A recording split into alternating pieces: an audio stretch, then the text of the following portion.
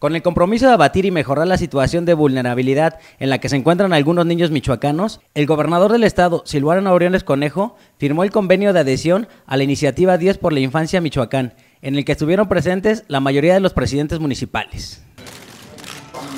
Juan Martín Pérez, titular de la Red por los Derechos de la Infancia en México,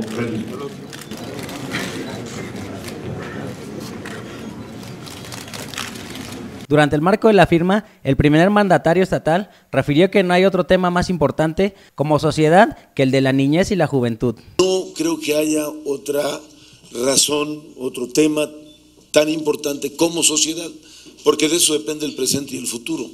Lo que nos suceda, lo que pase, si queremos transformar de fondo nuestra realidad o la realidad que no nos gusta, lo que enfrentamos y no nos gusta, tiene que ser atendiendo las necesidades de nuestras niñas y niños. Aurelio Conejo pidió a los presidentes municipales trabajar juntos para cerrar filas, para revertir el lugar que Michoacán tiene en el grado de atención a la infancia y a los jóvenes. Por este tema en particular se los recomiendo, les pido que cerremos filas en él, em, de tal manera que eh, podamos tener resultados pronto en Michoacán y revertir el lugar que tenemos en, la, en el grado de atención